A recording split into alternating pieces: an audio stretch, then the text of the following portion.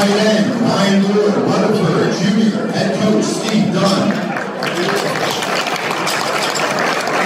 Ryan had 35 receptions for 776 yards and in North Jersey leading 13 touchdown receptions.